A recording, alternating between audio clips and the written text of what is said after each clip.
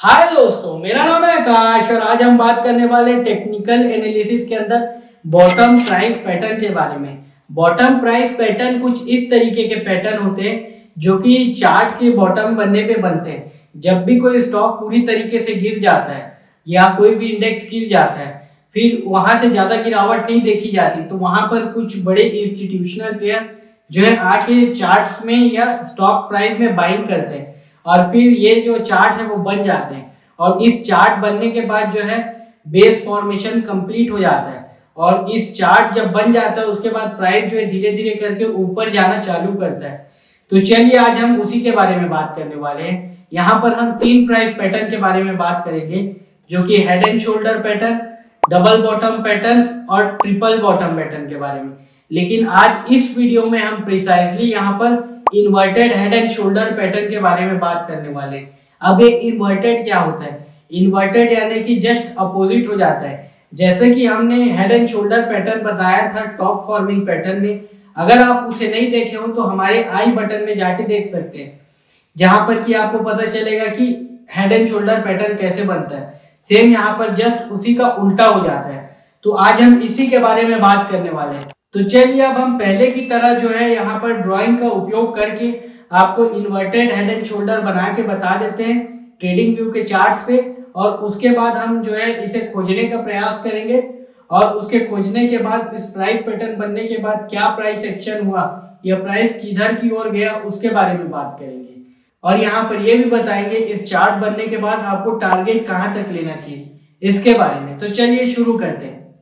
तो जैसा कि आप यहाँ पर देख पा रहे होंगे, हमने कर्सर को यहाँ ले जाके फिर से ब्रश उपयोग किया है और यहाँ पर inverted head and shoulder pattern जो है ड्रॉ करके बता रहे तो यहाँ पर जो एक लेफ़्ट शोल्डर रहता है, फिर एक हेड रहता है, फिर एक राइट शोल्डर रहता है। और यहाँ पर भी सेम एक लाइन ड्रॉ किया जाता है दो शोल्डर के बीच में। और फिर जब भी यहाँ से प्राइस जो है ऊपर चलना चालू करता है तो यहाँ पर उस प्राइस का जो है बॉटम बन जाता है। और प्राइस जो यहाँ से सीधा ऊपर जाने की कोशिश करता है।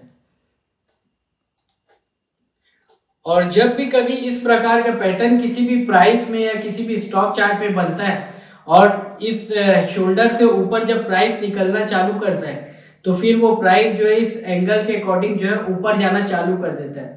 और यहाँ पर हम इसको एक बार आपके लिए डिनोट भी कर देते हैं लेटर्स में। ये लेफ़्ट शोल्डर ये राइट शोल्डर और ये हो गया आपका हेड तो चलिए अब हम इसे खोजने का प्रयास करते हैं निफ्टी फिफ्टी के चार्ट में। और इसके बनने के बाद क्या हुआ, उसको भी बताने का बात करेंगे। तो जैसा कि आप लोग यहाँ पर देख पा रहे होंगे 20 जून के आसपास जो है inverted head and shoulder pattern बना। इसको इस तरीके से देख सकते हैं। कुछ इस तरीके से। और इसे अगर मैं इसे प्रोफेशनली ड्रॉ करके बताऊँ ट्रेडिंग व्यू से तो उसे भी चलिए देख के बता देते हैं। यहाँ पर आपको जो है पैटर्न्स में फिर से जाना पड़ेगा और यहाँ पर हेड एंड शोल्डर को पैटर्न को लेना पड़ेगा। फिर यहाँ पर जो है लेफ़्ट शोल्डर को इस तरीके से ड्रॉ करना पड़ेगा। हेड फिर राइट शोल्डर फिर उसके बाद आप लोग देख सकते हैं प्राइस पैटर्न को। इसको कुछ हल्का सा लास्ट में पकड़ के यहाँ। तो जैसा कि आप लोग देख पा रहे होंगे, यहाँ से इस प्राइस पैटर्न का जो है ब्रेकआउट आया और ब्रेकआउट आने के बाद प्राइस जो है सीधा एकदम तूफानी रफ्तार से ऊपर चले गया। तो यहाँ पर आप देख सकते हैं कि हेड एंड शोल्डर बनने के बाद इंडेक्स के चार्ट में, जो कि निफ्टी फिफ्टी के डेली चार्ट वहाँ पर किस तरीके से प्राइस में तेज़ी आए। तो चलिए और इसे खोजने का प्रयास करते हैं। तो जैसा कि आप यहाँ पर देख पा रहे होंगे, एक बार यहाँ पर फिर से एक बार जो है इन्वर्टेड हेड एंड शोल्डर बनने का प्रयास हुआ है।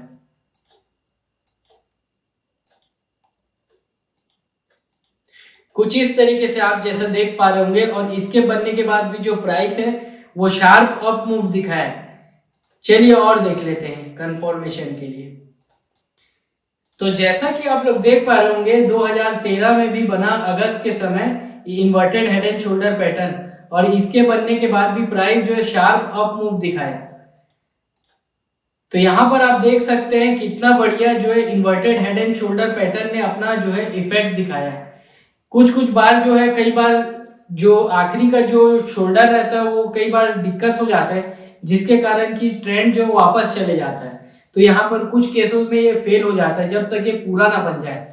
तो जो inverted head and shoulder pattern है, किसी भी स्टॉक के या किसी भी सिक्योरिटी के चार्ट में बन जाए और उसका कंफर्मेशन मिल जाए। तो आपको वहाँ बाई साइड का ट्रेड लेना चाहिए और जब भी ऐसा आप करेंगे, वहाँ पर एक छोटा सा स्टॉप लॉस लेके चलना चाहिए। और वहाँ पर प्रोबेबिलिटी ये रहता है कि 80 टू 90 परसेंट जो ये वर्क करता है और जो रेस्ट है वो थोड़ा सा प्रोबेबिलिटी के लिए आपको स्टॉप लॉस लेना पड़ेगा। तो आज के लिए बस इतना ही दोस्तों। ऐसी और एक्साइटिंग जानकारी जानने के लिए हमारे चैनल दबंग एनालिस्ट को लाइक सब्सक्राइब एंड शेयर करें। धन्यवाद।